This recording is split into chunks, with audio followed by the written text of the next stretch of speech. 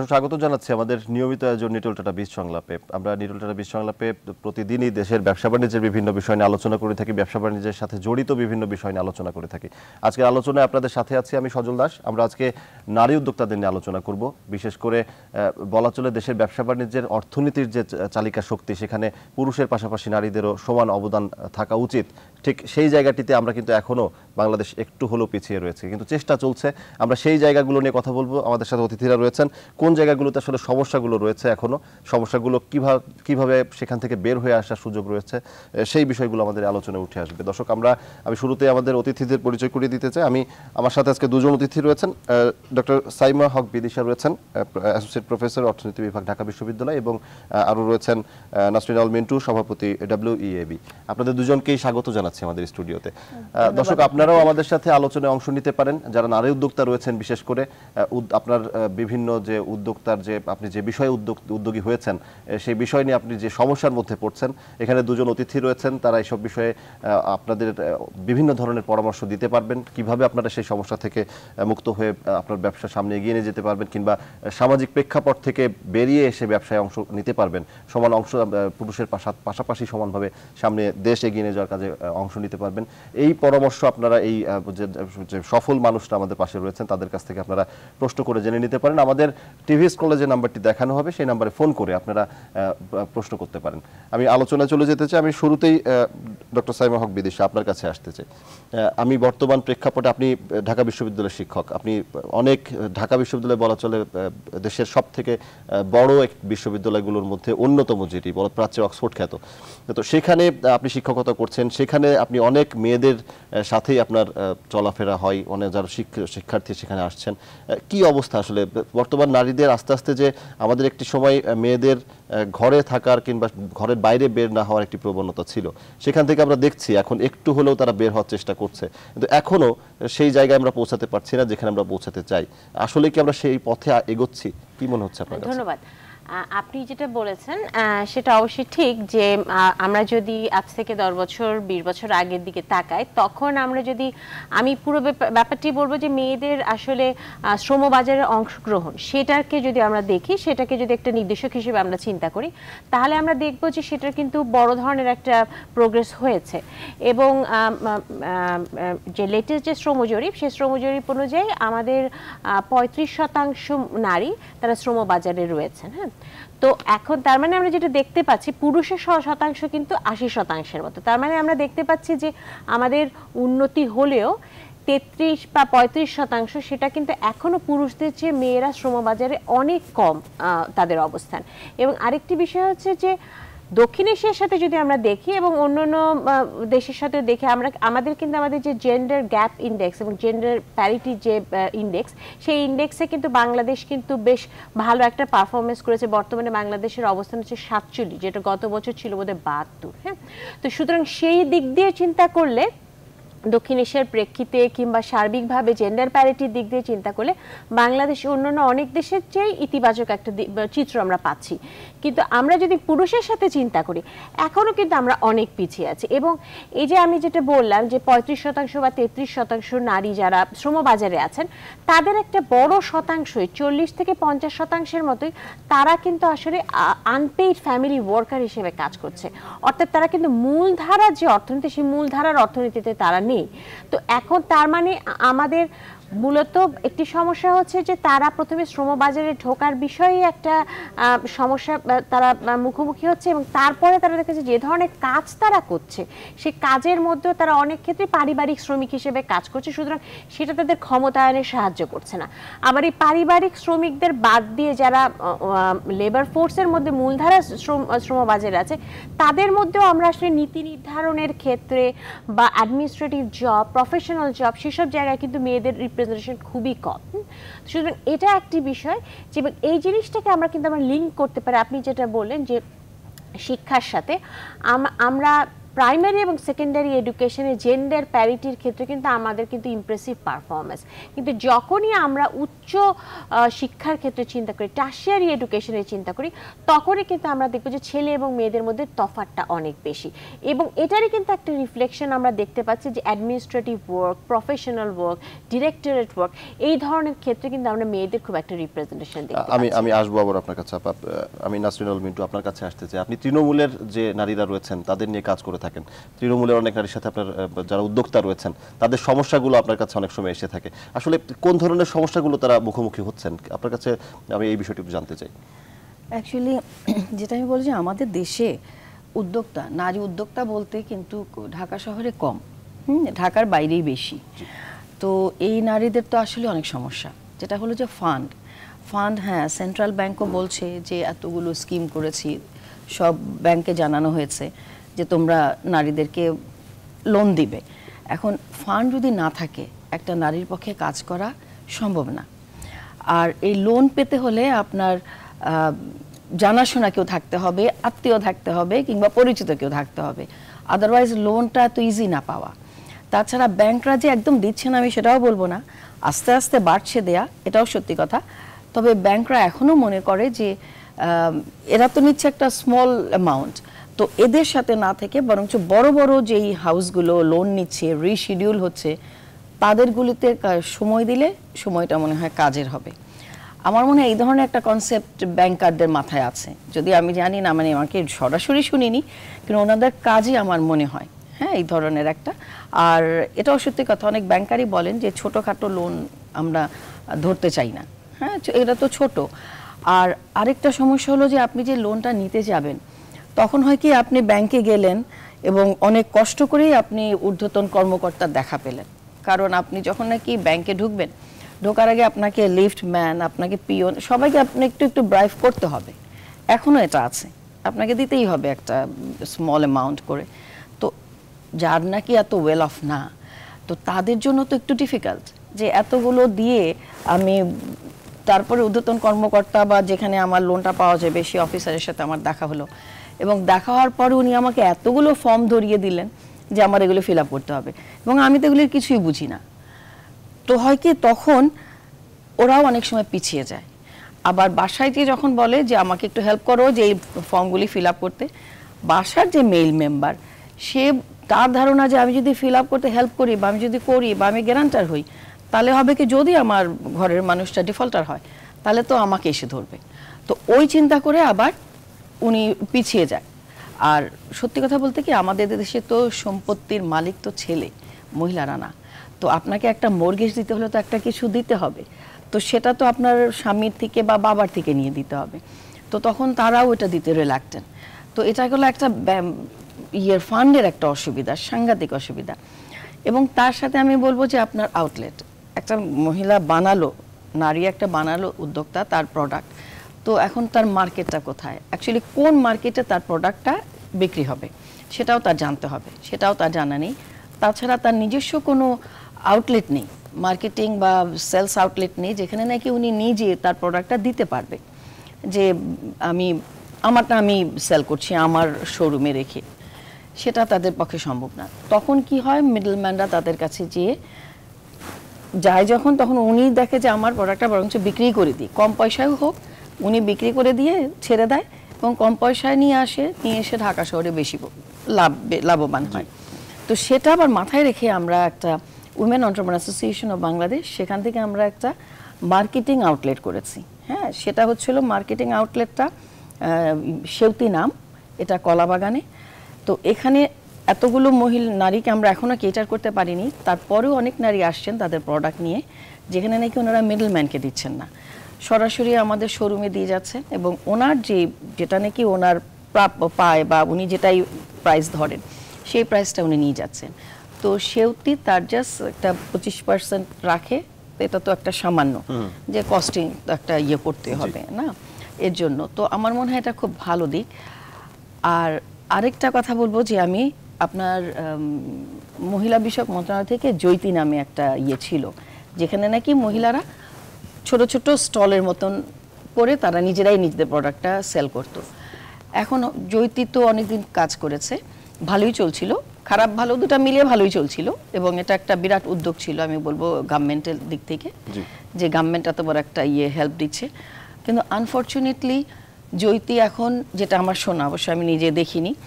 তো যেটা আমি শুনলাম যে জৈতি এখন যেই মেম্বাররা স্টলগুলি নিয়েছিল তাদেরকে বলেছে তোমরা চলে যাও। আমরা নিজেরাই এখন জৈতি চালাবো। জ- জয়িতার বিরুদ্ধে জয়িতা। জি। আপ- তোমরা আমাদের ইয়ে হয়ে যাও কি বলে এটাকে সাপ্লায়ার হয়ে যাও। এখন জয়িতা কিন্তু একটা বড় ল্যান্ড পেয়েছে। ওখানে ওনারা একটা বিল্ডিংও তৈরি করছেন।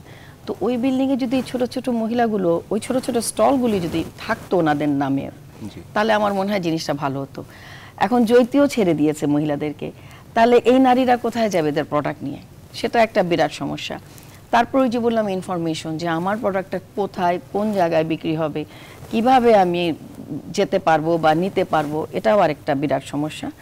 তার উপরে আরেকটা সমস্যা আমি বলছি যে ল অ্যান্ড অর্ডার সিচুয়েশন যেটা নাকি আপনার সিকিউরিটি কারণ মহিলারা সহজে সন্ধ্যার পরে বাসার বাসার মেম্বাররা মেল মেম্বাররা চায় না ওনারা বেরোক। মহিলারাও একটু রিলাক্টেন্ট থাকে যে সন্ধ্যার পরে ভয় একটা থাকে তো সেই জিনিসটা যদি ঠিক করে ঠিক হয়ে যেত তাহলে আমার মনে হয় আর একটু বেশি মহিলারা উদ্যোগী হয়ে কাজ করবে এখানে আমার একটা প্রশ্ন রয়েছে। আপনি সংগঠনের কথা বললেন বেশ কয়েকটি আপনারা একটি সংগঠন করছেন। আসলে অনেক নারী জানেন জানেন না এখনও যে তার প্রোডাক্টটা কোথায় বিক্রি হবে কিংবা কোথায় নিয়ে যাবেন তিনি। কিংবা অনেক নারী দেখা যায় গদ বাঁধা কিছু প্রোডাক্ট রয়েছে। যেমন আমাদের গ্রামে আমরা দেখেছি আমাদের মা বোনেরা যেটি করে থাকেন কাঁথা সেলাই থেকে বিভিন্ন নকশি কাঁথা কিংবা শাড়িতে কাজ করে থাকেন। এই ধরনের কিছু নির্দিষ্ট কাজের বাইরে কিন্তু তারা খুব একটা আসছেন না। তো- ক্ষেত্রে যে সংগঠনগুলোর কথা বললেন আপনি আপনারা কি মানে কোন ধরনের আহ, তাদেরকে জানানোর কিংবা কোন ধরনের প্রশিক্ষণের কোনো কার্যক্রম কি চালাচ্ছেন? হ্যাঁ আমি সেখানেই আসছিলাম যে আমরা প্রশিক্ষণ দিচ্ছি প্রত্যেকটা সংগঠনই। কম বেশি প্রশিক্ষণ দেওয়া হচ্ছে আমাদের সেউ আমাদের উমেন অন্টারপ্রেনার অ্যাসোসিয়েশন থেকে। আমাদের সেউতির সাথে একটা ট্রেনিং সেন্টারও আছে যে প্রশিক্ষণের জন্য। তো আমরা মহিলাদেরকে পুরো বাংলাদেশেই প্রশিক্ষণ দিয়ে আসছি। হ্যাঁ দিয়ে যাচ্ছি আসছি। আমার সামনে একটা প্রশিক্ষণ আছে বারো তারিখ থেকে বান্দরবনে। তো প্রশিক্ষণ তারা নিচ্ছে। কিন্তু প্রশিক্ষণ নেয়ার পরে আপনার যেটা নাকি দরকার যে অনেক অনেক নারী বলে যে আপা প্রশিক্ষণ নিলাম প্লিজ আমাদেরকে হেল্প করেন আমরা বিজনেস করতে চাই। এত সুন্দর প্রশিক্ষণ নিয়েছি ধরেন বিউটিফিকেশনের একটা কথা না আমি বলি।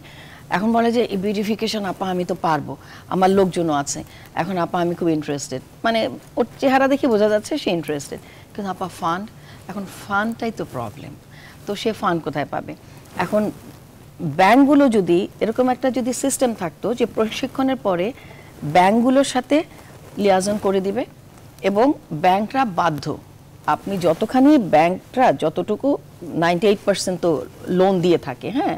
আমি যতটুকু মনে হয়, যাই হোক হোয়াট এভার ফাইভ বা নাইনটি এইট সেখান থেকে যদি আপনি টু পার্সেন্ট মহিলাদেরকে দেন এবং আপনি যদি মনে করেন যে, ঠিক আছে টু পার্সেন্ট দিলাম, এই টু পার্সেন্ট আমার ঘরে আসবে না। এটাই আমি মাথায় নিয়ে নিই। কত তো রিশিডিউল হচ্ছে, কত তো ডিফল্টার আছে। তো এই জিনিসটাকে আমি মাথায় রাখি টু পার্সেন্ট আসবে না। এটা চিন্তা করেও যদি লোনটা দেয়া হয়, তাহলে কিন্তু আপনি দেখবেন যে ঘরে ঠিকই ফিরে আসছে, কারণ মহিলারা ডিফল্টার সহজে হয় না। হলেও একজন দুজন হতে পারে বাট হয় না। তো সেখানে টু পার্সেন্ট কিন্তু ফেরত আসবে। এই ধরনের যদি একটা পলিসি করে, আমার মনে হয় ব্যাংকগুলো দিতে বাধ্য যে টু পার্সেন্ট দিতেই হবে, এবং ওরকম মহিলাকে দিতে হবে যারা নাকি দরকার, যারা নাকি বিজনেসে এগিয়ে আসছে। আরেকটা বললেন যে গদবাধা বিজনেসে আছে লাইক বুটিক পিকল মেকিং এগুলোই করছে। ঘুরে ফিরে আপনি মহিলাদের দেখবেন যে কিছু হ্যান্ডিক্রাফটস করছে এগুলির মধ্যেই বাধা আছে। এখন এগুলি থেকে উত্তরণ করতে গেলে চাই চায় না যে তা না। আমারই কয়েকটা মেম্বারের কথা আমি একটু সাকসেস স্টোরিও দু একটা বলি যে আমারই একজন মেম্বার আপনি ইয়ে বুটিক করতো। তো ওকে সবসময় বলতাম আমি তো এমনি মিটিংয়ে সবসময় বলি যে তোমরা এটা করো ওটা করো যাই হোক। তো ও একদিন আমার কাছে আসলো খুব মন খারাপ। তো যে কি হয়ে মানে কি হয়েছে? তো বলে যে এরকম আমি তো একটা আমার বাবা একটা ছোট আমাকে একটা ল্যান্ড দিয়ে গেছে সাভারে। তো আমি এখন এটাতে কিছু করতে চাই। তো আমি দেখলাম যে সিএনজি স্টেশন যদি করি মানে আমি পারব করব। কেন ওর মাথায় এসছে আমি জানি না বাট এটা এসছে ওর মাথায়। বলে যে আমি করতে চেয়েছি ব্যাংকে গেছি ব্যাংকরা প্রথম তো রিলাক্টান অবাক হয়ে গেছে। বলে সিএনজি স্টেশন মহিলাদের না। তারপরেও বলছে যে না আমি করব। তারপরে বলছে আচ্ছা এখান থেকে কাগজ আনেন ওখান থেকে আনেন। কিছু কাগজ ওরা চেয়েছে দ্যাটস ফাইন তো ও কাগজগুলো এনে দিয়েছে ও কোলাট্রালও দিচ্ছে ওর বাবার জমিটা সেটাও দিচ্ছে। তারপরেও ব্যাংক আগাচ্ছে না দিতে রাজি না কারণ ব্যাংক বুঝতেই পারছে না যে এই মহিলা বুটিকের বাইরে যেয়ে কেমনে কি কাজ করবে। সিআর সিএনজি স্টেশন তো চারটিখানি কথা না লেবার চেবার তো অনেক আছে। তো সেটা ওনারা কোনো কারণে ওনারা রিল্যাক্টেন তো আমাকে আমি ফোন করলাম অফিসারকে, আমি বললাম যে, দেখেন, এটা কেন হচ্ছে না? তো উনিও আমাকে অনেক কিছু বোঝালো। তাহলে যে আচ্ছা আমি ফোনে আপনার কথা বুঝতে পারছি না। বরঞ্চ আমি আমার অফিস থেকে আমি কাউকে অফিসার পাঠাচ্ছি, একটু কথা বলে দেখেন, কিন্তু এই লোনটা দিতে হবে। তারপরে যাওয়ার পরে উনি কথা টথা বলার পরে লোনটা হলো। ওর গ্যাস স্টেশন সিএনজি স্টেশন দুটাই এখন ভালো চলছে। ও দুটোই করে ফেলেছে। তো ওদেরকে চান্স দিতে হবে। আপা, আমি আসব আপনার কাছে। আমি আপনার কাছে আসতে চাই একটি বিষয়, আপা যেটি বললেন, একটি সাকসেস স্টোরির কথা আমরা শুনলাম, সফল একটি ঘটনা। আসলে আমাদের বিশ্ববিদ্যালয়ে কিন্তু অনেক মেয়েরা এখন পড়াশোনা করছেন। বলা চলে প্রায় সমান একটি জায়গা তৈরি হয়ে গেছে নারী পুরুষের বিশ্ববিদ্যালয়। তো সেখানে আমরা দেখি বেশিরভাগ মেয়েই উচ্চশিক্ষা অর্জনের পর তারা একটি ঘরোয়া মনোভাবের ভিতরে এখনও রয়েছেন। এক্ষেত্রে বিশ্ববিদ্যালয়ে যারা শিক্ষক রয়েছেন কিংবা যারা বিশ্ববিদ্যালয়ের পাশাপাশি যারা আরও আরও যে অভিভাবকরা তাদের রয়েছেন, তাদের কি দায়িত্ব রয়েছে কিনা সেখান থেকে বের করে আনার? কিন্তু আপনারা কি সেই ধরনের মোটিভেশন তাদেরকে দিচ্ছেন কিনা? আচ্ছা প্রথম কথা হচ্ছে যে আমি একটা কথা বলতে চাই, একজন শিক্ষকের কাছে ছেলে, মেয়ে বা যে কোনো অবস্থানে সবাই সমান হ্যাঁ? তো এখন আমাদের বিষয় হচ্ছে আমরা যে, যার মেধা আছে হ্যাঁ তাকেই কিন্তু আমরা পড়াশোনার ব্যাপারে এবং বাইরে যাওয়ার ব্যাপারে আমরা এনকারেজ করব। তো হ্যাঁ আমাদের কাছে অনেক সময় অনেক মেয়েরা আসে যাদের সমস্যাগুলো হচ্ছে যে যাদের অনেক সময় দেখা যায় যে তারা বিশেষ করে আমরা যে সমস্যাটা দেখি কারণ একটা ধাপ তো তারা অলরেডি পেরিয়ে আসে কারণ তারা বিশ্ববিদ্যালয়ে পড়ছে। এখন অনেক সময় দেখা যায় যেটা খুব দুঃখ লাগে সেটা হচ্ছে যে খুব ভালো স্টুডেন্ট ফার্স্ট ক্লাস ফার্স্ট হয়েছে হয়তো সেকেন্ড হয়েছে কিন্তু দেখা যাচ্ছে যে এর পরবর্তী ধাপে যাওয়ার জন্য তাকে হয়তো উচ্চশিক্ষায় যেতে হবে। ওখানে কিন্তু একটা বড় বাধা বিদেশে যাওয়া হ্যাঁ? তো এবং অনেক ক্ষেত্রে দেখা যায় যে আমি দেখেছি তাদের মধ্যে একটা হতাশাও কাজ করে যে অনেকে হয়তো দেখা যাচ্ছে যে তারা হয়তো ওই বাইরে যেতে পারছে না বলে তারা কিন্তু আর কাজের ক্ষেত্রে কিন্তু ক্যারিয়ারটাকে কিন্তু সেভাবে আগাতে পারছে না। কিন্তু তারা কিন্তু মেধায় কিন্তু অনেক ছেলের চেয়ে কিন্তু আগারও ছিল। তো এই বিষয়গুলোর ক্ষেত্রে বিষয়টি হচ্ছে কি পুরো বিষয়টি হচ্ছে যে একজন শিক্ষক একজন বাবা মা এটাই তো শুধু না পুরো বিষয়টা হচ্ছে পুরো মাইন্ডসেটটা আমাদের যে সমাজের যে মাইন্ডসেট জি। আর বিশ্ববিদ্যালয়ে আসে কয়জন ছাত্রছাত্রী হ্যাঁ? ছাত্রী কয়জন আসে? পুরো বাংলাদেশের কথা যদি আমরা চিন্তা করি, তাহলে বাংলাদেশের ক্ষেত্রে আমরা তো দেখব যে একটা বড় বিষয়টি হচ্ছে যে মেয়েদের টার্সিয়ারি এডুকেশনে আসা সেই টার্সিয়ারি এডুকেশনে আসার পেছনে কিন্তু তখন তার আগে কিন্তু এই যে আমাদের যে একটা যে চাইল্ড ম্যারেজ বা এই ইস্যুটা যে কাজ করে, ষোলো বছর, আঠেরো বছর, এই সময় যে একটা বিয়ের বা তারও আগে যে ছেলে মেয়েদের যখন বিয়ে দিয়ে দেওয়া হয়, তখন কিন্তু দেখা যাচ্ছে সে হয়তো ম্যাট্রিক পাস করতে পারল, তারপরে কিন্তু আর সে যেতে পারছে না বা ক্লাস এইট পর্যন্ত পড়তে পারছে, তারপরে সে যেতে পারছে না। তো প্রথমে হচ্ছে এই বাধাটা ডিঙানোর বিষয়টি রয়েছে এবং তারপরে যদি পরিবেশ তার সহায়ক হয় বেশিরভাগ ক্ষেত্রে দেখা যায় পরিবেশ সহায়ক হয় না হ্যাঁ? আমি বলছি যে তৃণমূল পর্যায়ের কথা। তখন সে কি করবে? তখন তাকে উচ্চশিক্ষায় যেতে পারবে কিনা? উচ্চশিক্ষার পরে যে যে বিষয়টা আমি একটু আগে বললাম যে, নীতি নির্ধারণে কেন মহিলাদের সংখ্যা কম? কেন সংখ্যা কম হচ্ছে ডিরেক্টরেট পজিশনে বা প্রফেশনাল পজিশনে হ্যাঁ? তো তখন কিন্তু এই সমস্যাগুলো যে একটা পর্যায় পর্যন্ত মেয়েরা পারলেও তার পরবর্তী ধাপটা পেরোনো, সেটার জন্য কিন্তু সার্বিকভাবে একটা সামাজিক একটা পরিবর্তন দরকার। আরেকটি বিষয় হচ্ছে যে, আমাদের কিছু গবেষণায় আমরা সার্ভে ডেটা নিয়ে আমরা যেটা দেখেছি যে বাংলাদেশের ক্ষেত্রে আমাদের লেবার ফোর্স সার্ভেতে যেটা দেখাচ্ছে যে একটা বড় বাধাই হচ্ছে যে আমি যেটা দেখেছি সেটা হচ্ছে যে যদি বাসায় পাঁচ বছরের নিচে শিশু সন্তান থাকে, তখন দেখা যায় যে সেটা একটা বড় ধরনের স্ট্রং নেগেটিভ ফ্যাক্টর হিসেবে কাজ করছে। তার মানে বিষয়টা কি? তার মানে হচ্ছে যে পারিবারিক এই ধরনের বিভিন্ন রেসপন্সিবিলিটিটা এটার জন্য কিন্তু আমাদের সেরকম সাপোর্ট সিস্টেম তৈরি হয়নি হ্যাঁ? সুতরাং আমাদেরকে শুধু এটা চিন্তা করলে হবে না যে আমরা মেয়েদের মেয়েদের পড়তে আসছে না কেন বা তারা লেবার ফোর্সে ঢুকছে না কেন? তাদেরকে সাপোর্ট সিস্টেম একটু আগে যে উনি যেটা বললেন যে তাদের নিরাপত্তার অভাব, অর্থাৎ তাদের বিভিন্ন ধরনের যে ডিগ্রি কলেজ হ্যাঁ বা ইউনিভার্সিটি বা এই এই ধরনের বা বিভিন্ন জায়গায় তারা যদি কাজ করতে আসে তাদের থাকার ব্যবস্থা আবাসনের ব্যবস্থা তাদের যাতায়াতের ব্যবস্থা নিরাপত্তার ব্যবস্থা এই বিষয়গুলো গুরুত্বপূর্ণ। এবং এটার সাথে সাথে যে জিনিসটি বিষয়টি যে আমরা আপনি যেটা বললেন যে একজন একটা মেয়েকে আমরা সমবাজারে সেভাবে দেখতে পাই না কেন তার একটা বিষয় কারণ কিন্তু হচ্ছে যে মেয়েরা কিন্তু দেখা যায় যে বিভিন্ন পারিবারিক কারণে অনেক মেয়ে দেখা যায় যে তারপর ভালো মেধার সাথে থাকার সাথে তারা যেতে পারছে না তারা হয়তো চাকরিও করতে পারছে না। তার কারণ হচ্ছে পারিবারিক সাপোর্ট সিস্টেমটা এই সাপোর্ট সিস্টেমের জন্য আসলে কিন্তু সরকারকে আরও বেশি উদ্যোগী হতে হবে। বিভিন্ন উদ্যোগ না হয়েছে কিন্তু এটা আসলে ব্যক্তি খাতকেও এগিয়ে আসতে হবে এবং ব্যক্তি খাতকে যেমন আমি যদি একটা গার্মেন্টস কারখানায় সেখানে ডে কেয়ার সেন্টার হ্যাঁ? বিভিন্ন জায়গায় ডে কেয়ার সেন্টার এই জিনিসগুলোকে এবং এই জিনিসগুলোর সাথে মেয়েদেরকে সমাজের সবাইকে কিন্তু অ্যাকাস্টামড হতে হবে। যে কীভাবে মেয়েরা যখন শ্রমবাজারে আসার জন্য পুরো পরিবেশটাই যদি তাদের সহায়ক থাকে তখনই কিন্তু তারা আসতে পারবে। তা না হলে কিন্তু তাদের পক্ষে আসা সম্ভব হবে যে আমি আহ, নাসরিন আল মিন্টু আপনার কাছে আসব, আমি ছোট্ট একটা বিরতি নিতে চাই, তারপর আসব। দর্শক, ছোট্ট একটি বিরতি নিচ্ছি নিটোটাটা বিশ সংলাপে, আমাদের সঙ্গেই থাকুন।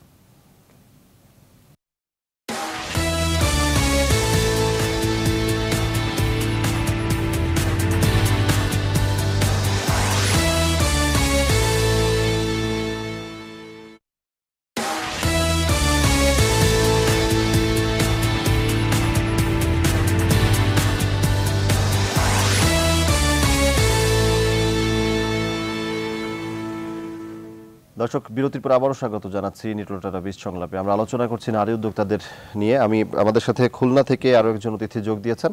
আমাদের সাথে খুলনা থেকে শামিমা সুলতানা শিলু যোগ দিয়েছেন divisional head BWCCI Shamima Sultana Shilu, আপনাকে স্বাগত জানাচ্ছি আমাদের অনুষ্ঠানে।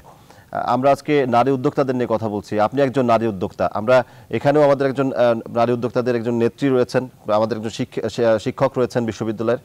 তারা আলোচনা করছেন। আপনার কাছ থেকে, তাদের কাছ থেকে আমরা অনেক সমস্যার কথা শুনেছি। আপনি যেহেতু একটি নারীদের একটি সংগঠনের সাথেও জড়িত রয়েছেন শীর্ষ সংগঠন বলা চলে। এই সংগঠনের মাধ্যমে আপনারা কোন কি ধরনের উদ্যোগ নিচ্ছেন এবং আপনাদের কাছে যে তৃণমূলের যে নারী উদ্যোক্তারা রয়েছেন, তারা কি ধরনের অভিযোগ এনে থাকেন সমস্যার? এই বিষয়গুলো যদি আপনি একটু জানাতেন আমাদের।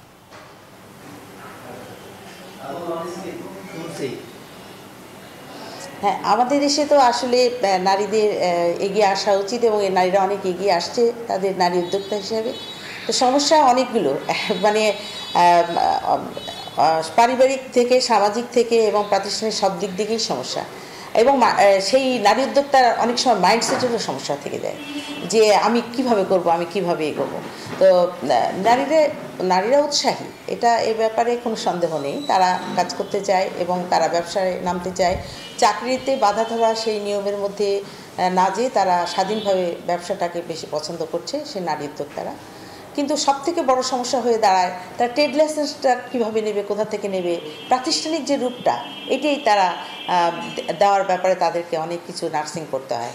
আমরা এখানে আমাদের সংগঠনের মাধ্যম দিয়ে তাদেরকে ব্যবসার বেসিক যে নলেজ এটা দেই। আবার আজকাল আবার আইসিটির উপরেও তাদেরকে অনলাইনে ব্যবসা কীভাবে করতে হয়, এর ব্যাপারে আমরা কিছু ট্রেনিং করিয়েছি। এখন আমরা স্কিল ডেভেলপমেন্টের জন্য তাকে বিউটিফিকেশনের ট্রেনিং তারপর ফ্যাশন ডিজাইনের ট্রেনিং এগুলো চলছে। এগুলো সরকারের সহযোগিতায় এই এই ফান্ডগুলো আসছে।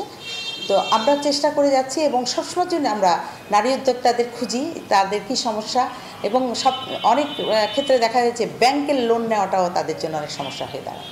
তারা এসএমই লোনটা কীভাবে নেবে? এবং আপনারা তো জানেন, সবাই জানে যে নারীদের নিজস্ব কোনো খুব একটা সম্পদ বা সম্পত্তি অনেক বেশি আমাদের দেশে যা আছে সবার। মানে তৃণমূল পর্যায়ে সেটা কিন্তু ওরকম নয় চিত্রটা। বিশেষ করে নিম্ন মধ্যবিত্ত যারা, তাদের জন্য কিন্তু নিজেদের প্রপার্টিও থাকে না অনেক সময়। তো সেই সব জায়গায় আমরা ওই এসএমই লোনটা একেবারেই সহজভাবে কীভাবে পাওয়া যায় এই জন্য ব্যাংকের সঙ্গে লবিংও করি, অনেক সময় অ্যাডভোকেসি করি। আর সবসময় জন্য মাইন্ডসেটের জন্য তাকে অনেক বেশি কাউন্সেলিং করতে হয় আমাদের। এটাও করি যে কীভাবে তারা করবে। তারপর বাজারজাত কোথায় করবে? বাজারজাতের তো কিন্তু ভালো অ্যাক্সেস আমাদের দেশে ওইভাবে নেই। নারীরা কিন্তু পুরুষের পাশাপাশি এই ব্যবসাগুলো একেবারে বাজারে নিয়ে যেতে পারছে যে যে একজন পুরুষ ভাইয়ের পাশাপাশি আরেকটা দোকান দিতে পারছে, সেই পরিবেশ পরিস্থিতি কিন্তু হান্ড্রেড পার্সেন্টে আমরা নাই আমাদের দেশে। কোথাও কোথাও আছে, কিন্তু পূর্ণাঙ্গ রূপে নাই। রাত হয়ে গেলে, সন্ধ্যা হয়ে গেলে মেয়েরা কিন্তু এখনও নিরাপত্তার মধ্যে থাকে। কাজেই তার সেই আটটা, নয়টা, দশটা পর্যন্ত পুরুষের পাশাপাশি একটা দোকানে বসে সে বিক্রি করবে। এরকম পরিস্থিতি সব জায়গায়, পরিবেশটা সব জায়গায় নাই। হ্যাঁ? তা এইসব জায়গাগুলোর জন্য কিন্তু আমাদের সরকারকে আরও একটু এফোর্ট দিতে হবে। আর আমরা চেষ্টা করছি যে নারীদেরকে এগিয়ে নিয়ে যাওয়ার ব্যাপারে। সে ব্যাপারে নারীরা চেষ্টা করে যাচ্ছে আমরাও চেষ্টা করে যাচ্ছি জি। শামীমা সুলতানা শিলু আপনাকে অসংখ্য ধন্যবাদ। আপনি থাকুন আমাদের সঙ্গে আমি আবারও আসব আপনার কাছে। আমি আমাদের নাসরিন আল মিন্টু আমি আপনার কাছে একটু আসতে চাই। অনেক সময় আমাদের বলা চলে আমাদের দেশের প্রধান যে রাজনৈতিক দলগুলো রয়েছে আমাদের প্রধানমন্ত্রী নারী আমাদের সেটা বড় বড় রাজনৈতিক দলগুলোর নেত্রী নারী আমাদের স্পিকার নারী আমাদের আরও অনেক ভালো ভালো জায়গায় নারীরা রয়েছেন। অনেক পরিকল্পনাও রয়েছে নারীদের নিয়ে। আসলে শুধুমাত্র কি পরিকল্পনা যথেষ্ট? আমরা কি সেই কাজগুলো করছি যে গবেষণামূলক যে কাজগুলো রয়েছে সেই কাজগুলো কি আমরা করছি? অ্যাকচুয়ালি যেটা বলছেন যে পরিকল্পনা দরকার হ্যাঁ? পরিকল্পনা হচ্ছেও। এটাও সত্যি কথা। আর বললেন যে আমাদের দেশের শীর্ষস্থানে কিন্তু সত্যি কথাই যে আমাদের প্রাইম মিনিস্টার নারী আমাদের স্পিকার নারী তো সেখানে আমাদের কেন নারীদের এখনও উন্নতি হচ্ছে না? আর পরিকল্পনা তো নিচ্ছেই। অনেকগুলো ডিসিশন হচ্ছে যে নারীদের এইটা করা হবে ওটা করা হবে। অনেক আছে পলিসিতে যে নারীদের জন্য কিন্তু ইমপ্লিমেন্টেশন নেই। তো সেগুলো তো ব্যাপারে আমরা কতটুকু কি বলতে পারি? যে আমরা তো চাল করে যাচ্ছি এবং আমরা কথাও বলি গভর্নমেন্ট মিনিস্ট্রিগুলোতে যে যে আপনারা পরিকল্পনা আপনারা এটা দিয়েছেন ওটা করছেন কিন্তু নারীদের কেন এখনও উন্নতি হচ্ছে না বা আসতে পারছে না? আর তারপরে আরেকটা দেখবেন আমাদের কিন্তু শ্রম বাজার খুব একটা বড় না। তো অনেক নারী কিন্তু পড়াশোনা শেষ করে ইউনিভার্সিটি স্টুডেন্টদেরকেও আমি জানি যে তারা আসতে চায়, যে মাঝে মাঝে আসে। এক ঝাঁক স্টুডেন্ট আসে যে, আপা, আপনারা তো সংগঠনে আছেন, এখন আমরা বিজনেস আসতে চাই, কি করব? কীভাবে নামবো? তো তারাও কিন্তু চাচ্ছে যে, এই দিকটায় আসতে। তো সেখানটায় তাদেরকে তো সাহায্য দরকার। এখন ফান্ড না হলে, আর যেটা আপা বললেন যে, বাসার থেকে, বাসার থেকেও দরকার আছে যে, আপনি তো সাহায্য দিতেই হবে। বা সা- বাসার থেকে যদি এনকারেজমেন্টটা না থাকে তাহলে তো একটা নারীর জন্য ডিফিকাল্ট কাজ করা। তো সেটা কিন্তু বাসার যে ওরা যে বলবে যে করো সেটার একটা ইয়ে আছে যে তারা তো চায় না তাদের নারী সন্ধ্যার পরে বাসায় যাক বাইরে যাক। কারণ আমাদের বাসা বাইরে গেলে কে জানে কখন কি হয় রিক্সায় যাচ্ছে স্কুটারে যাচ্ছে হেঁটে যাচ্ছে ওর যে সামাজিক নিরাপত্তা সে জায়গাটি এখনও হ্যাঁ গাড়িতে যাচ্ছে হ্যাঁ এক্স্যাক্টলি তো সেই জায়গায় কিন্তু এখনও ওই জায়গাগুলো খুব খারাপ অবস্থায় আছে সেটা অবশ্যই গভর্নমেন্টকে দেখতে হবে। আর আমিও আমরাও চিন্তা করি যে আমাদের যেই দেশে নাকি এতকাল ধরে নারীরাই আপনার প্রাইম মিনিস্টার হচ্ছেন হ্যাঁ? তো সেখানে আমরা এখনও কেন পিছিয়ে? আমাদের আরও একটু দ্রুত গতিতে আগানো উচিত তাই না আমি আমি আসব আপনার কাছে। আমি একটু ডক্টর সাইম হক বিদেশি আপনার কাছে আসতে চাই। গবেষণা ছাড়া কোনো পরিকল্পনা আসলে নিলে সেই পরিকল্পনা কতটুকু সফল হবে সেটা নিয়ে একটি প্রশ্ন থেকে যায়। পরিকল্পিত পরিকল্পনা যেটি আমরা বলে থাকি, অনেক ব্যবসায়িক যে প্রতিষ্ঠান সংগঠনগুলো রয়েছে, বেশিরভাগ জায়গায় আমরা দেখে থাকি যে অনেক পরিকল্পনার নেওয়ার সময় তাদের সাথে যখন বৈঠক করা হয়, বিভিন্ন ধরনের মতামত আসে। কিন্তু সেই মতামত সরকারের যে পরিকল্পনায় খুব একটা প্রতিফলিত, প্রতিফলন আমরা দেখি না সেই পরিকল্পনার ভিতরে। আসলে গবেষণার সেই জায়গাটিকে আমাদের দেশে এখনও তৈরি হয়েছে? নারীদের নিয়ে কি সেই পর্যাপ্ত গবেষণা হচ্ছে? আসলে কি প্রয়োজন এবং সেই পরিকল্পনা, সেই গবেষণা অনুযায়ী নেওয়া হচ্ছে? কি মনে হয় আপনার কাছে?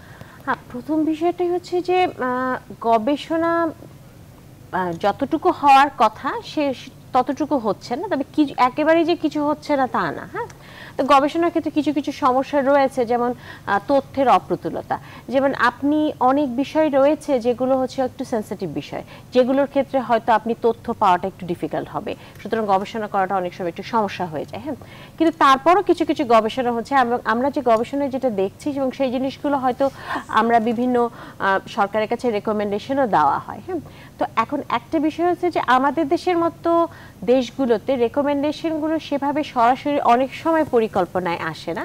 কিন্তু আমি গুরুত্ব দিচ্ছি যে উনি যে কথাটি বললেন একটু আগে, সেটা হচ্ছে যে পরিকল্পনায় যদি আসো তারপরে ইমপ্লিমেন্টেশনগুলো হ্যাঁ? যে আমরা যদি সপ্তম পঞ্চবার্ষিকী পরিকল্পনা দেখি এছাড়া নেক্সট যে পার্সপেক্টিভ প্ল্যান সেই পার্সপেক্টিভ প্ল্যানে আমি কিছু কাজ করছি। তো ওখানেও আমরা যেগুলো আমরা পাচ্ছি এবং যে, যেসব গবেষণায় যেগুলো দেখছি, সেই জিনিসগুলো কিন্তু সরকারের কাছে এবং নীতি নির্ধারকদের কাছে তুলে ধরা হচ্ছে। এবং আপনি যদি দেখেন যে খাতায় কলমে কিন্তু বেশ কিছু নীতি কিন্তু নেওয়া হয়েছে। যেমন এসএমইর যে নীতি হ্যাঁ? সেই নীতিগুলো কিন্তু বেশ নারী বান্ধব বেশ কিছু নীতি রয়েছে। কিন্তু যখন এই বিষয়টিকে যখন প্র্যাকটিক্যাল ফিল্ডে আমরা প্র্যাকটিক্যাল লাইফে যখন আমরা দেখি, তখন আমরা এর কতটুকু রিফ্লেকশন দেখতে পাই। যেমন আমাদেরকে দুটো বিষয় দেখতে হবে। একটা হচ্ছে যে আমরা যদি একদম মাইক্রো অ্যাসপেক্টে দেখি, আরেকটা হচ্ছে ম্যাক্রো অ্যাসপেক্টে মাইক্রো অ্যাসপেক্টে আমরা যখন দেখছি, তখন কিন্তু প্রত্যেকটা ইন্ডিভিজুয়াল একজন মহিলা, তার যে সমস্যাগুলো, যে সমস্যাগুলোর মধ্যে আমার, আমরা যেটা বললাম যে ডে কেয়ার ফ্যাসিলিটিসের বিষয়টা, আবাসনের বিষয়টি নিরাপত্তার কথা বললেন, তো এই বিষয়গুলো আসে। এবং এটার সাথে সাথে আমাদের কিন্তু আরেকটি জিনিস দেখতে হবে যেটা আপা যে কথাটি বলছিলেন যে এই জিনিসটা যে অনেক মেয়ে আসছে কিন্তু চাকরির সমস্যাটা হ্যাঁ এখন শ্রমবাজারের এই বিষয়টি কীভাবে আসে, এটা কিন্তু বিভিন্ন গবেষণায় আমরা যেটা দেখেছি, সেখানে হচ্ছে বাংলাদেশের শ্রমবাজারে একটা বড় ধরনের স্কিল মিসম্যাচ রয়েছে। এবং স্কিল মিসম্যাচ হচ্ছে, অর্থাৎ আমি যে স্কিল দিয়ে একজন মেয়েকে তৈরি করলাম বা একজন মেয়ে একটা যে স্কিলটা নিল, সেই স্কিলটাকে আদৌ বাজারে, কাজে লাগছে? কারণ আমাদের একটা বড় সম- সমস্যা হচ্ছে যে পরিকল্পনা, ভালো পরিকল্পনা হয় না, সেটা আমি বলব না। যেটা আমি বলতে চাচ্ছি সেটা হচ্ছে যে পরিকল্পনা অনেক পরিকল্পনাই কিন্তু গবেষণালব্ধ কিছু কিছু পরিকল্পনা হয়তো গবেষণার বাইরেও আসে। কিন্তু যে সমস্যাটা হচ্ছে পরিকল্পনা যে ইমপ্লিমেন্টেশনটা সেই ইমপ্লিমেন্টেশনটা এবং আরেকটি জিনিস হচ্ছে কোঅর্ডিনেশন হ্যাঁ? বিভিন্ন মন্ত্রণালয়, বিভিন্ন এজেন্ট এজেন্সির সাথে যে কোঅর্ডিনেশনটা দরকার। অর্থাৎ সাপ্লাই সাইডের সাথে ডিমান্ড সাইডের যে কোঅর্ডিনেশনটা দরকার। যেমন আপনি China Philippines in even India Sri Lanka এই সমস্ত দেশে কিন্তু বিজনেসদের সাথে, শিল্পের সাথে যারা শ্রমিক রয়েছে এবং শ্রমবাজারে যারা আসছে, তাদের সাথে কিন্তু একটা কোঅর্ডিনেট করে দেওয়ার ব্যাপার থাকে। সুতরাং একজন মেয়ে মেয়ে যেটা একটা সমস্যা, সেটা হচ্ছে যে অনেক উদ্যোক্তা, আমি যদি উদ্যোক্তার কথা বলি, তাদের একটা সমস্যা হচ্ছে, একটা সমস্যার কথা আমরা বারবার বলছি ফান্ডিং এর সমস্যা, সেটার বিষয়ে আরও বিভিন্ন গবেষণা, আরও কিছু তথ্য রয়েছে, সেটার ব্যাপারে পরে বলা যাবে। কিন্তু আরেকটি বিষয়টি হচ্ছে যে, তাদের কাছে হয়তো তথ্য নেই যে, তারা এখন হয়তো একটা মেয়ে হয়তো কোনো একটা স্কিল ট্রেনিং নিতে যাচ্ছে। কোন ধরনের স্কিল ট্রেনিং যদি ইনোভেটিভ কিছু বিষয় আমরা চিন্তা করি কোন ধরনের স্কিল ট্রেনিং নেওয়াটা তার জন্য ভালো হবে মার্কেট ডিমান্ডটা কি? মানে আমরা যদি গতানুগতিক যে ধরনের কাজগুলো মেয়েরা করছে অবশ্যই সেগুলোকে আমি সম্মান দিয়ে দেখছি। কিন্তু এর বাইরেও যদি কিছু করতে চাই তাদেরকে যদি আমরা তার শ্রমবাজারে তাদের অবস্থানটাকে আরেকটু বাড়াতে চাই তো তাহলে সেই স্কিল ট্রেনিং তারা কিন্তু জানে না এবং তারা এটাও জানে না যে এই স্কিল ট্রেনিংটা নিয়ে সে কোথায় যাবে বা এই ধরনের স্কিল ট্রেনিং না নিয়ে অন্য ধরনের স্কিল ট্রেনিং না এখানে এখানে এই একটি বিষয় আমি নাসরিন মিন্টু আপনার কাছে একটু আসতে চাই। আমাদের নারী উদ্যোক্তাদের কাছ থেকে আমরা অনেক সময় অভিযোগ পেয়ে থাকি যে লোন নেওয়ার ক্ষেত্রে তারা বড় ধরনের সমস্যায় পড়েন ব্যাংকে গিয়ে। আবার যারা ব্যাংকার রয়েছেন তাদের সাথেও আমরা কথা বলেছি। তারা বলে থাকেন বেশিরভাগ নারী উদ্যোক্তাই কোনো ধরনের নির্দিষ্ট সুনির্দিষ্ট বিজনেস প্ল্যান কোনো পরিকল্পনা ছাড়া লোন নিতে যান কিংবা তারা তাদের যে পরিকল্পনাটা রয়েছে সেটি বিশদভাবে তাদেরকে বোঝাতে ব্যর্থ হন। এই ধরনের একটি কথা আমরা শুনে থাকি। ওকে এখন বিশুদ্ধভাবে বোঝাতে ব্যর্থ হন এটা হতেই পারে। কারণ তারা তো উদ্যোক্তা ছিল না। এবং তারা অত আমি একটা ইয়ে ধরি তারা অত এডুকেটেড আমরা যেই সেক্টর নিয়ে কথা বলছি যে সেই সেক্টরের মহিলারা বিশুদ্ধভাবে অনেকভাবেই বোঝানো যায় না যে আমি কি করতে চাচ্ছি। এবং আপনাকেও হেল্প করতে হবে ব্যাংকেও হেল্প করতে হবে যে কি কোন বিষয়ে আপনি করছেন আচ্ছা আর একটু বুঝি। ওনার কথা থেকে তো বেরোয় আসবে। আমি যখন একটা বিজনেস করব ডেফিনেটলি আমার কথা থেকে বেরোয় আসবে অনেক কিছু। কোথায় সেল করব বা কি কি লাগবে র মেটেরিয়াল কি লাগবে, এটার কত টাকা হতে পারে, এই কথা কিন্তু আমার কথা থেকে বেরোয় আসবে। তো সেখানে যদি আমি বলব ব্যাংকাররা ওখানে যদি কেউ থাকে যে ওকে নারীরা যখন কথা বলবে তার বিজনেস নিয়ে, সেইগুলো আমরাও জট ডাউন করে আমরাও তারপরে দেখব যে এটা কীভাবে ইয়ে করা যায় হেল্প করা যায় নারীকে। কিন্তু এখন আমার বিজনেসটা আমি বুঝাতে পারছি না, আমি জীবনে কখনো বিজনেস করি নাই। বিজনেস কি জানি না, আমি উদ্যোগ, আমি তৈরি করতে পারি। ইচ্ছা আছে আমার কিন্তু না আমি- আমি প্রোডাক্ট তৈরি করতে product পারি। তৈরি করতে পারি। কিন্তু আমি যে বিজনেস পার্সন সেটা আমি কখনোই চিন্তা বিজনেস পার্সন হচ্ছিল মেল মেম্বার আমি মহিলা কেমনে বিজনেস মেম্বার আমি তো বিজনেস করি না। আমি তৈরি করি আমার স্বামী নিয়ে বিক্রি করে তো সে বিজনেসম্যান এটাই তো অ্যাকচুয়ালি ধারণা ছিল মহিলাদের এখনও আছে। তো সেখানে তো ব্যাংকারদের উচিত সাহায্য করা। ব্যাংকাররা যদি বলে উনি বুঝাতে পারেন নাই দিলাম না। এটা তো কথা হলো না। বুঝা ও তো বুঝাতে পারবেই না ঠিক মতো কিন্তু ও যা ব্যাংকারটা জানে যে পারে করতে করতে করছে। আমি শিওর ওর প্রোডাক্ট নিয়ে যাচ্ছে গিফট করছে মানে ছোটোখাটো কিছু একটা নিয়ে যাচ্ছে দেখাচ্ছে। কিন্তু সেখানে তো এই এই কমপ্লেনটা ব্যাংকারদের থেকে আমি একদমই অ্যাকসেপ্ট করতে রাজি না। আমি তারপরে আরেকটা কথা যে ট্রেড লাইসেন্স ট্রেড লাইসেন্স আসলে ঢাকার বাইরের মহিলাদের ট্রেড লাইসেন্স বেশিরভাগই নেই। একজন বললেন না ওই যে খুলনার আমি যাব রয়েছেন আমাদের সাথে। হ্যাঁ তো সেখানটা আমি বলব যে আমরা যে ট্রেনিং করাচ্ছি আমরা কিন্তু ট্রেনিং এর পাশাপাশি ওদের ট্রেড লাইসেন্স করিয়ে দিচ্ছি। তাতে করে ওদের সুবিধা হয়েছে কি অন্য সংগঠনরা যখন ট্রেনিং দেয় আবার এই মেয়েরাই যে দেখা যাচ্ছে যে অন্য সংগঠনে যেহেতু ট্রেড লাইসেন্স আছে সেহেতু অন্যখানে যে তারা ইজিলি ট্রেনিংটা নিতে আপু, আমি এই বিষয়ে বিরতিতে যেতে হবে একটা সময় হয়ে গেছে। আমি এসে আলোচনা করব এই বিষয়টি। আমি শামিমা সুলতানা শিলু আপনি রয়েছেন আমাদের সঙ্গে খুলনা থেকে। আমি আসব আপনার কাছে। আমি ছোট্ট একটি বিরতি নিতে চাই। দর্শক নিটলটা বিশ্বকল্পে ছোট্ট একটি বিরতি নিচ্ছে। আমাদের সঙ্গেই থাকুন।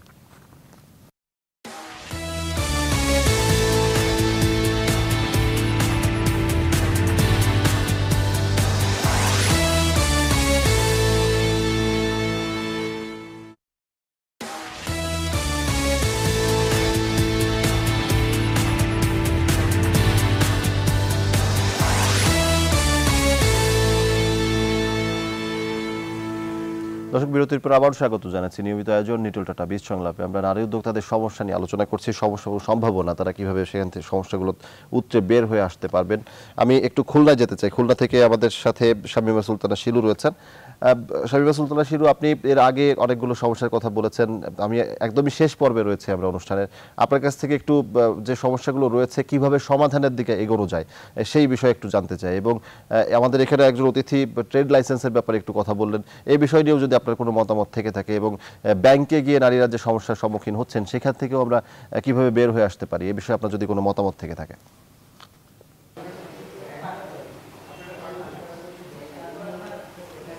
হ্যাঁ আমাদের নারীরা তো বহুমুখী সমস্যার মধ্যে জর্জরিত থাকে।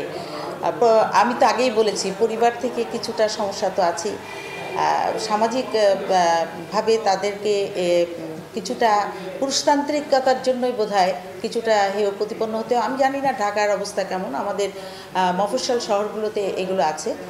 সেখানে কিন্তু একটু মানসিক সেট যেটা মানে তারকে মানসিক প্রশান্তি যেটাকে বলব আমি, সেটা হলো পারিবারিকভাবে আসা উচিত। স্বামীকে, ভাইকে, বাবাকে, এরকম যদি সঙ্গে থাকে মেয়েটির এবং একই ব্যবসার মধ্যে থাকে, কেউ একজন, তাহলে হয় কি এটাকে দ্রুত এগিয়ে নেওয়া যায়। কারণ হচ্ছে অনেক সময় সে নিরাশ হয়ে যায় মানে হতাশায় ভোগে, যখন সে দেখে যে তার চারপাশে কেউ নেই বাইরে একটা কোনো সমস্যা হলেও বাড়িতে ভৎসনার শিকার হতে হয়। এই সমস্যাগুলো কিন্তু রয়েইছে। তারপর সে যে এত কষ্ট করে উৎপাদন করল, যে উৎপাদিত পণ্য তা কোথায় বিক্রি করবে, সেটারও কিন্তু নির্দিষ্ট কোনো জায়গা তার অনেক মেয়েদের নাই। আর সেক্ষেত্রে যদি মেলার জায়গাগুলো বেশি করে করা যায়, আমাদের সরকারিভাবে কিন্তু অনেক বেশিভাবে যে এই ছোটোখাটো, আগে আমরা মিনা বাজার হতো, এখন বড় বড় যে মেলাগুলো হয়, এখানে পুরুষরাই ভরে যান, নারীদের সেরকম একটা জায়গা থাকে না। তো মেয়েদের জন্য কিন্তু আলাদাভাবে এই মেলার ব্যবস্থা প্রত্যেকটা জেলায় জেলায় করা উচিত অনেক বেশি। আমি বলব স্থায়ীভাবে একটা স্থাপনা করা উচিত, যেখানে সরকার যদি এটা করেন, যে এখানে এসে মেয়েরা তাদের হাতের কাজের সব জিনিসপত্র বিক্রি করে যাবে। তাহলে কিন্তু তারা এটাতে আরও উৎসাহী হবে।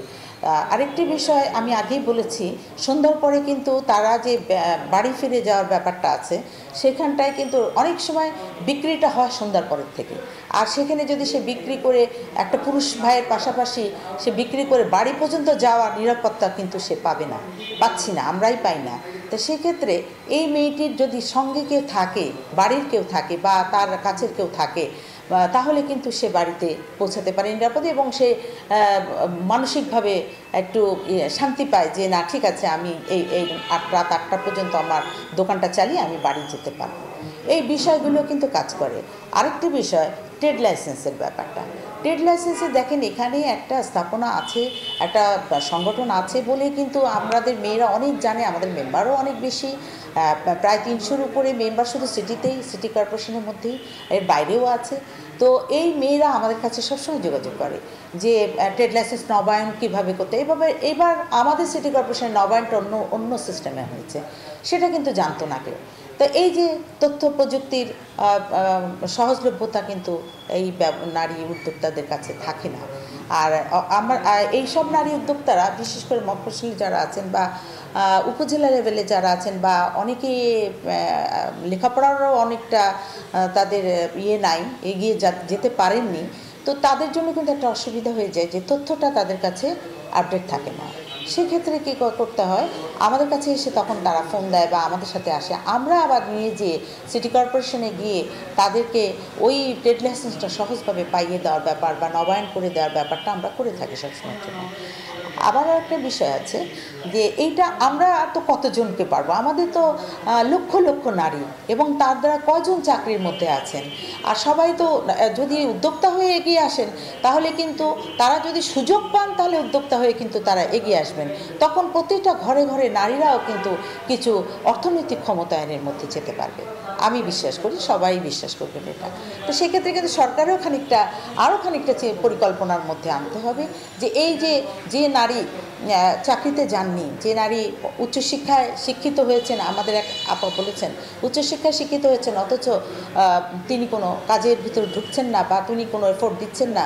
সমাজে তিনি যদি একটা প্রতিষ্ঠান নিয়ে বসেন, তাহলে কিন্তু তার কাছেও কিন্তু পাঁচজন কি ছজন কি দশজন নারী এসে কিছু কাজ করে কর্মসংস্থান করেও কিন্তু তিনি অর্থনৈতিকভাবে লাভবান হতে পারছেন।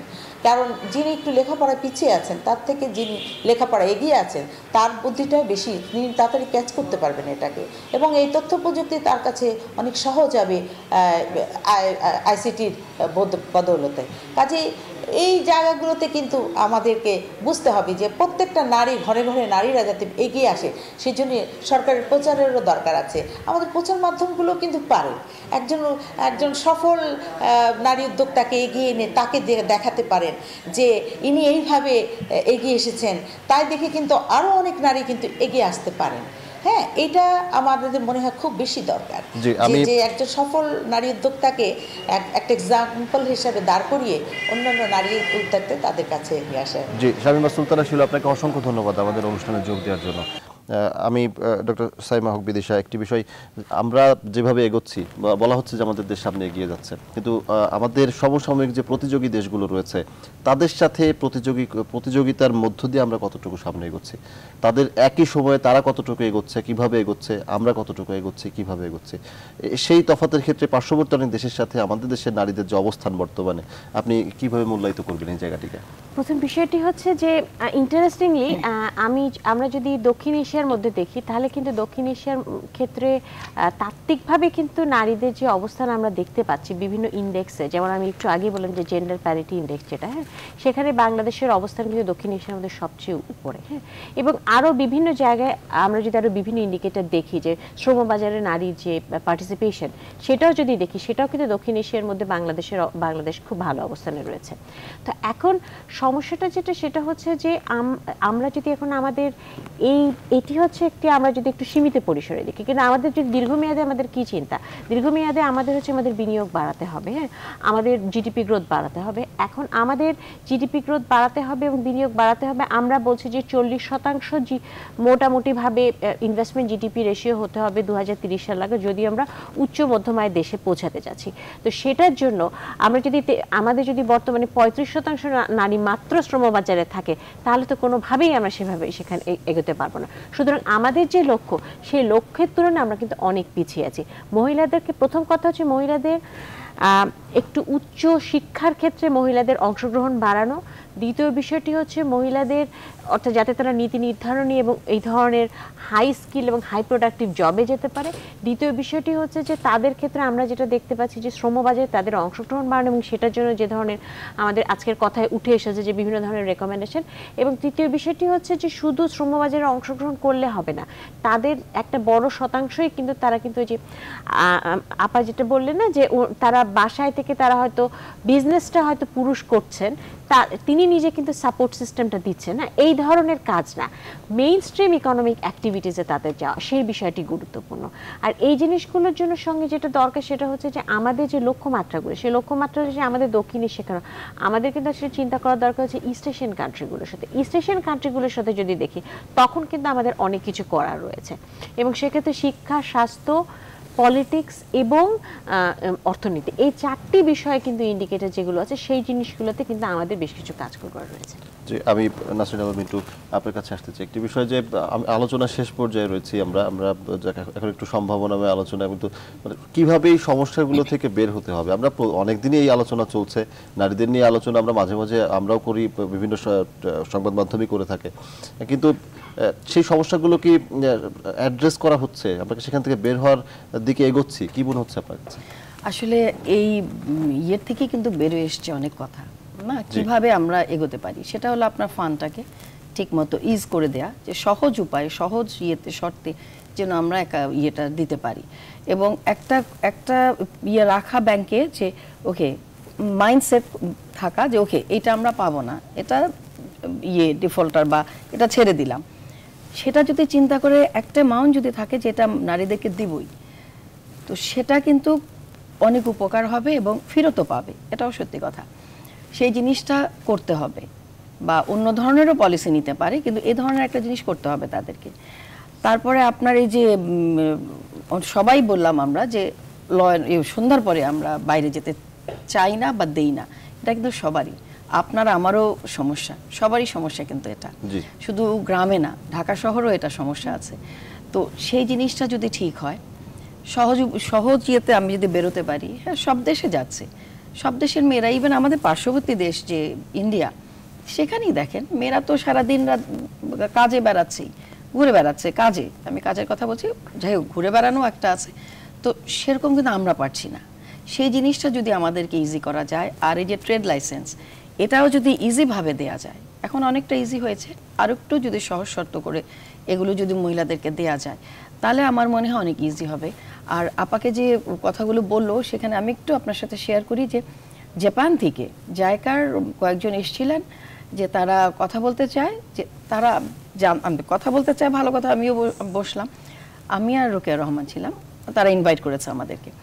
তো ওইখানটায় আমি আমি একটু অবাকই হলাম শুনে যে তারা তো অ্যাডভান্স কান্ট্রি কিন্তু তাদের মহিলারা কাজে নাই কাজে আসে না গভর্নমেন্টেও বেশি মহিলা না। জাপানে এটা এখন তারা আমাদের থেকে জানতে চায় যে আমাদের মহিলারা কি করে এত মহিলা কি করে উদ্যোক্তা হচ্ছে বা বাইরে কাজ করছে। তাদের মহিলারা তো করে না তো আমরা কি ডিফারেন্সটা কি কি করা যায়? কীভাবে তাদেরকে তারা আনতে পারে? তো এটা নিয়ে অনেক কথা হলো। তো সেটা দেখেন যে জাপানের মতন জায়গায়। তারপর আরেকটা দেখেন পাকিস্তানে আপনার উমেন্স ব্যাংক কত ভালো কাজ করছে এবং উমেন্স ব্যাংকটা হওয়াতে আপনার কিন্তু অনেক অনেক মহিলা এটাতে জড়িত। আমাদেরকে শেষ করতে আপনি সংক্ষেপে যদি বলতেন। আমার শেষ আচ্ছা জি। আচ্ছা এই তো ইন্ডিয়াতেও ব্যাংক আছে তো আমরাও ব্যাংক চেয়েছিলাম উইমেন্স ব্যাংক তো আমার মনে হয় যাই হোক এখন গভর্নমেন্ট যদি একটু আরও একটু সদয় হন সবকটা মিনিস্ট্রি যদি সদয় হয় তাহলে বাংলাদেশের মহিলারা খুব শীঘ্রই অনেক অনেক উপরে চলে আসবে যেটা নাকি সবাই মনে করে যে বাংলাদেশের নারীরা অনেক কর্মঠ পার্শ্ববর্তী দেশ আপনাদের দুজনকে অসংখ্য ধন্যবাদ জানাচ্ছি আমাদের স্টুডিওতে এসে সময় দেওয়ার জন্য। দর্শক আমরা আশা করছি আমাদের যে নারীরা রয়েছেন তারা পুরুষদের পুরুষরা তাদেরকে সহায়তার মাধ্যমে কিংবা দুজন পাশাপাশি চলার মাধ্যমে সামনে এগিয়ে যাবে আমাদের দেশও দেশের যে অর্থনীতির চাকা বলা চলে দুটি এই দুটি কিন্তু সেই চাকারই দুটি অংশ। আমরা সামনে এগিয়ে যাবে আমাদের দেশও আমরা আশা করছি আজকের মতো নিউট্রোটা বিসংলাপ এখানেই শেষ করছি। ধন্যবাদ সবাইকে আবার নতুন কোনো বিষয় নিয়ে আপনাদের সামনে হাজির হব আগামী দিন। ততক্ষণ ভালো থাকবেন সুস্থ থাকবেন।